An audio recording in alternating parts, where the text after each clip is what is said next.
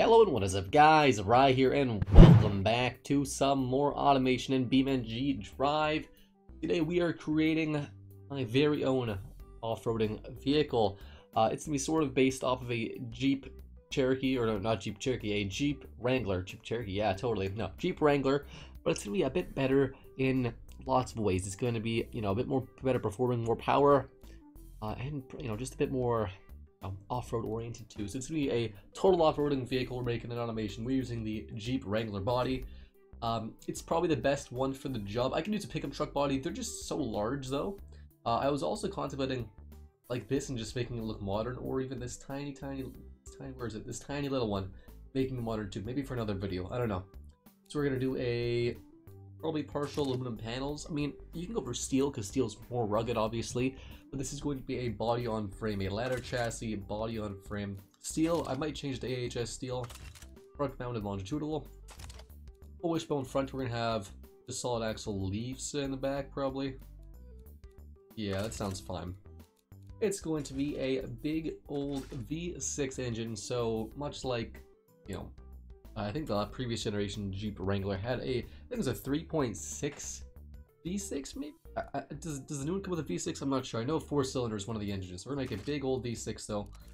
Full of red cam, four valves, all aluminum block. Loads. And we need VVL. I mean, we can have VVL, I guess. We have a very large stroke, smaller bore. Because it's going to be a, a, larger side of V6. It's not going to rev tons, but it's fine. Um, 3.7 sounds like a pretty decent size. We can go for maybe even a bigger one. Let's a 4 liter V6? Sounds good enough to me. 4 liter V6. We're gonna go for forged internal, just just stock. I might change it up. Uh, we'll leave it at 95. I'll make 80. 75 sounds. PVT. It's going to be maybe twin turbo. Maybe NA, I'm not sure yet. Direct injection though, per cylinder, standard intake, premium fuel. Long tube, tubular dual but probably have a high flow three-way catalytic converter, then probably baffled and baffled. So can up to six grand. Makes right now just over 270 or just 270 horsepower. Um, I think turbo, ball bearing turbo. They'll be use that as a basis. We're going to turbocharge it. Uh, 250 horse is not an acceptable number at all. We're just going to increase the power nice and low. We're not looking for horsepower, we're just looking for torque. It's not a diesel though, but it's It's not to be a moment of a gas engine. Uh, we can, or we'll get a, our end torque will be made later on. Pretty. What's the exhaust? Yeah, it's it's, it's struggling. Bypass size 0.2 inches. Okay, 280 horse around. I think I think the Wrangler is, is the high twos or low 300 horsepower if I'm not mistaken. I think it's like two either 280 or it's 310. I don't know. Either way, it's got uh, I think over 300 torque as well for a, a, a, a turbocharged four cylinder. So we're gonna shoot just a bit higher than that. We're shoot for 300 ish. It's a lot of torque. It's a lot of torque. Can we keep going? Oof. This. Let's do a more. So 465 torque and 315 horsepower, 25% efficiency, which isn't terrible. This engine's probably not going to be cheap though. We'll see how performance wins of the body on the vehicle.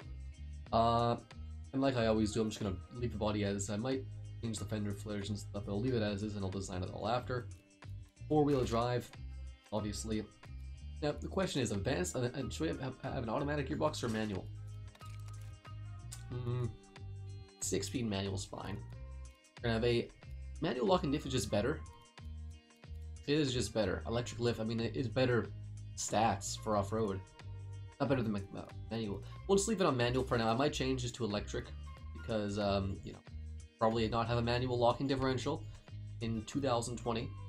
Radial off-road tires. These are huge tires. I'm not that wide actually. A bit smaller. two 85s, two 65s. That sounds pretty fair to me. Uh, steel wheels because you would not want aluminum wheels for off-roading because you know a lot easier to bend and warp. They're not, not as strong as steel. Uh, chunky AF tires though. 19 inch wheels and then massive, massive thick tires. Past that, pretty good. Uh, vented discs, discs, Echo Solid, four pistons. I'll probably make it. We'll leave it at max size. All that stopping power is great. We can do off-road skid but that doesn't actually help or anything. You know, it doesn't actually benefit anything. Cooling flaps, so I might go fully clad just because it's going to get us better fuel economy. Um, five-seater is fine. Sandwich is like an off-road orange. Off-roading? I don't know. Standard, standard. Uh, hydraulic, variable, I guess. Everything else. And then suspension, we're going to go... This is... Sure, right? We can go hydro pneumatic, good off-road stats, or we can go active comfort. I think active comfort is, is going to be a bit on the expensive side. It's very, very tall ride height, I might just, just a bit. 20 inches of ride height. Wow, that is that is some vehicle if you can see the the engine and like the the axle. just just right there. Only it had portal axles like the uh, Mercedes does. Be pretty. But up here and stuff. I don't know. So what do we got for stats? Weighs 40, 400 pounds. It's a bit heavy. 0 60 is in the six and a half second range. Weight distribution is honestly great. Honestly, just awesome. 40 grand, which is cheap Wrangler money, to be honest, for a more powerful vehicle. What's the fuel economy that was? We're getting 14 average. It's it's worse. Worse. What if we went for like a dual clutch? Where fuel economy? Or, no, we're not actually. Hmm. Well, limited slip. Uh, yeah. Electric limited slip differential. Get tough. Five. Bring it up to. So we'll, we'll, we'll gear to 300. Seven speed. 19 miles per gallon average is getting better. Um, there's a, a bit of money to play with though. A bit if we actually increase this route. Not much, not really enough. Like this. I mean, 19's not not a terrible. I, I will check with the Wranglers actually after I'm done the design of the car. 46 grand honestly seems seems not bad. Uh, what if we went for low friction cast? Is better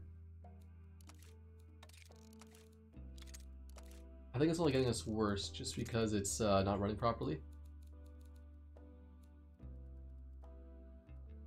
24.2 compared to... We're just getting us better than low friction, really. That, should be helping with... Uh, first, I, yeah, it's low friction be helping us with the uh, the fuel economy. The forge is actually doing more in this case. Okay, well, I'll, I'll let it I'll let it be forged. Um, 315 horse, which is good. Torque is made at 2,800 RPM, then it just sort of takes off. You just want to keep it, I guess, literally. Then the horsepower is very linear after that, which is fine. I think I think overall 5.8 seconds 0 to 60, top speed of around 225 kilometers an hour, which is pretty high for this vehicle. The drag coefficient is awful. Um, this thing is is heavy. It's a heavy vehicle, obviously. Um, bigger than the Jeep? I'm not sure. I might, but this doesn't really matter. It's an understeer, understeer, understeer. Oversteer starting at around 140 kilometers an hour. There's nowhere. There's nowhere you're driving to taking this 100. I'd be shocked. Uh, I'm gonna leave it just to the off-road. Higher than one. Okay. This is going to be a very off-road focused vehicle, obviously. Um, what I'm going to do now, design the vehicle, and I'm also going to tweak it, etc. It'll take a few minutes. Um, you guys enjoy this time lapse.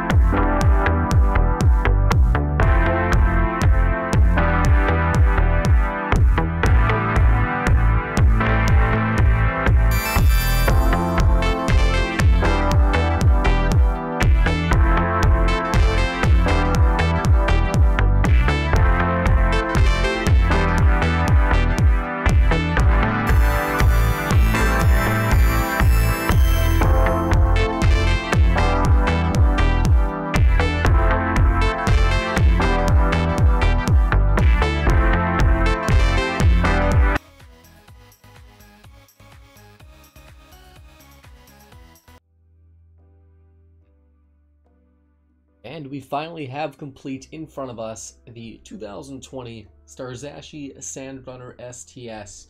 Um, so the backstory of this is go, you know, the backstory of this vehicle is it's basically just a rebadged Jeep Wrangler with a different engine. You know, it basically Starzashi, which is one of my auto brands that I like to imagine I have.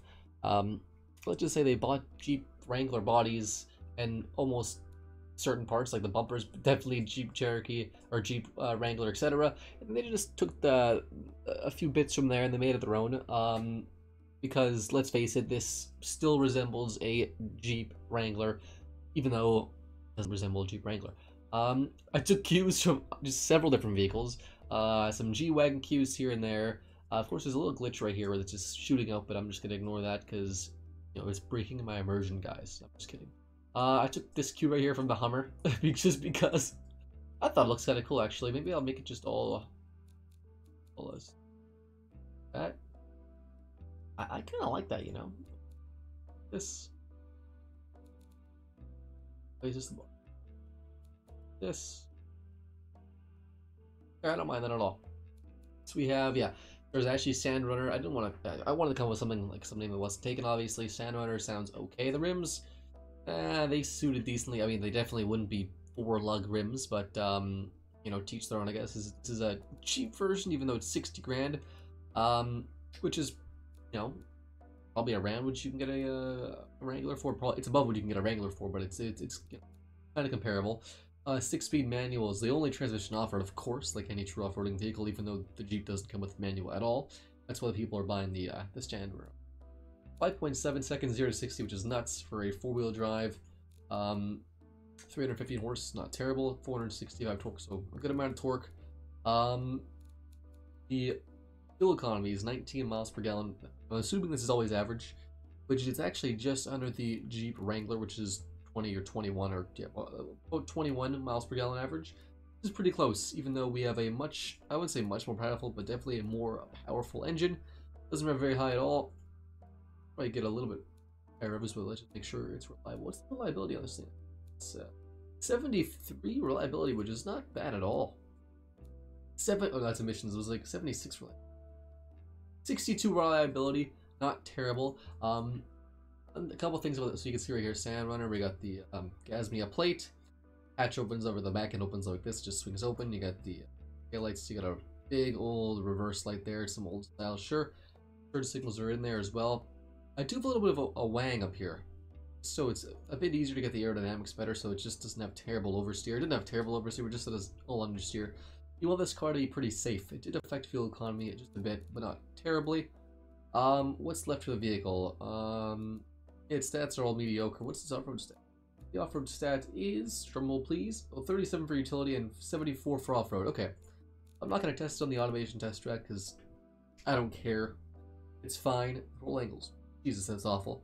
Uh, weight distribution is great, 49.51, so near perfect weight distribution. What we're going to do now is drive this car in BeamNG Drive in a variety of different things and stuff. So see you guys in just one second. And we're here finally in BeamNG Drive with the coveted Starzashi Sandrunner STS. STS stands for Sport Turbo Super. I don't know. I don't know. Some so, sport or something something. I don't know. Uh, we're gonna start going here. We're in arcade. We're gonna go to realistic. This thing is actually just pretty fast. We're just in high range right now, not in low range. Just sort of racing up this hill. We're just gonna cruise around basically for this uh, beam portion of the video. And again, note to self, guys, I am using a keyboard, not well. I did actually uh, actually recorded the testing part of the um, challenge, the Canadian Steel. And I've actually recorded that in a steering wheel just because it was definitely needed. But uh, it's not my steering wheel, it's my brother's steering wheel. I, I can use it all the time and stuff. So I could probably use it if I wanted to, but it's more work. We're gonna go this way, just up the hill here. We, we don't even need low range yet. I'll keep it in second though, just so we have, because uh, all the boost is around 3,000 RPM. Try to make it up this hill or something. We'll see if we can make it up this, uh, this stuff just see for a second. Oh, that's a lot of ground. Look, a lot of ground clearance. You guys look where the exhaust is too. Look at that. I got the uh, side exit exhaust. I thought it looked pretty cool. I wanted to keep that.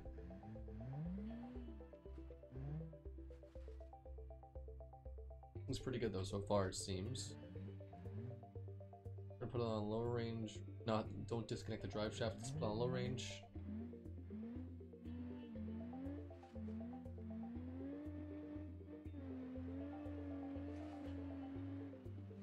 Was honestly pretty impressive.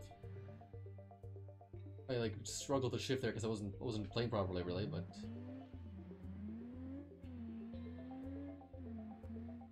I think it's quite honestly in a race. This thing probably wouldn't be terrible. I mean, it, it, it's very, very, very soft, but uh, ooh, there's a hill climb right there. We're gonna we're gonna do, we're gonna do this nice hill climb. We can, we're just gonna go right down here. Go. Oh, we lost the uh, front push bar. I guess is what that was. We lost the entire front bar. That's just fine.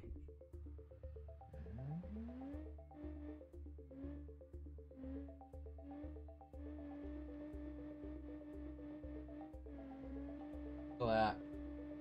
Wow. That's honestly pretty impressive.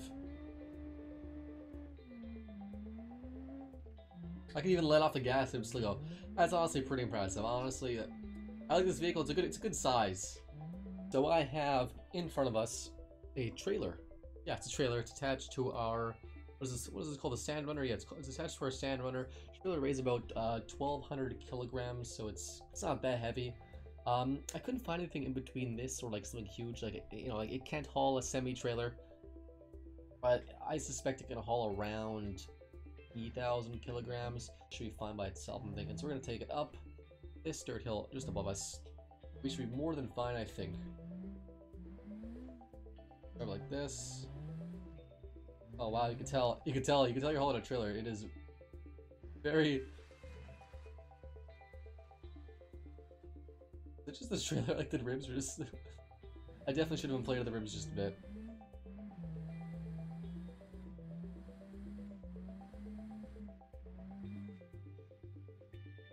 Oh, we're going up here.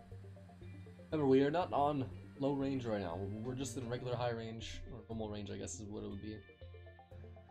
This turn nice and easy. Nice and easy. There we go, even though the back end I think just hit something.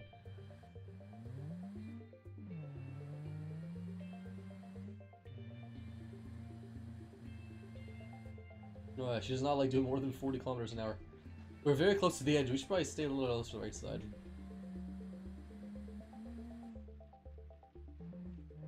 Another turn here.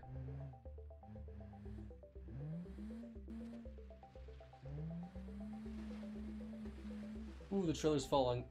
Oh boy, oh boy. Oh, we're fine. oh gosh, there it is. this is fine. Going for a little bit. It's just very fast too. Very fast. I mean, it's relative speed, but you know, it's quick. For a SUV, it's definitely up there for one of the quickest off. It's probably the quickest off-roading SUV, I'd say, right? Like what else? There? Oh, I guess the the G the G wagon, Mercedes. It is a bit. Oh, we're going downhill, I guess. Oh.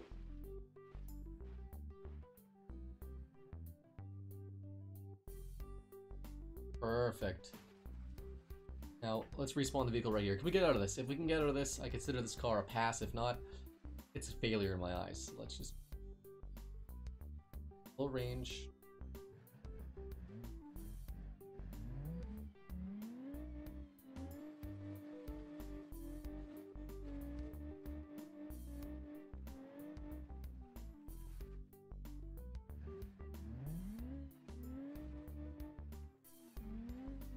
Oh god, this is not looking great.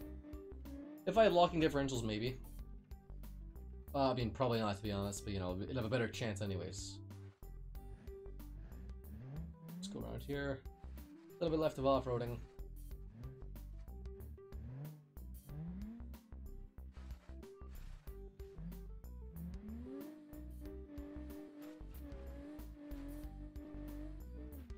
I need to make a Baja buggy at some point, eh, I guess. Oh, we're going this way. Oh boy, that's not good. Oh no. Oh god, it just keeps going. We're fine. This is fine. Perfect. Well, you know what? Still drives. I'll consider that a win in my eyes. Uh, I think we're gonna end it off here. This car has definitely been this vehicle. It's not really, it's not a car, this SUV has been probably, I, I would say my most off-road capable vehicle. I haven't really made anything this great of off-roading. It is pretty good. It has a lot of grip. Um, looks objectively fine. I mean, obviously it looks like a Jeep, but uh, looks objectively fine. I'm not, I'm not a Jeep fanboy, but um, it's an off-roading vehicle, so what do you expect? Let me know down below what you want to see me do next. Uh, I, have, I do have more cars I'm going to do, obviously. I, I, have a bit of a list going. Uh, I would like to make a sleeper car, maybe that'll be in the next challenge, or maybe a pickup truck, like a modern pickup truck. I mean, I don't really want to do another off-road, but just like a run-of-the-mill standard pickup truck, or maybe a police car or a taxi. Who knows? Let me know in the comments down below. Um, so thank you so much for all the support, guys. And as always, I'll see you next time.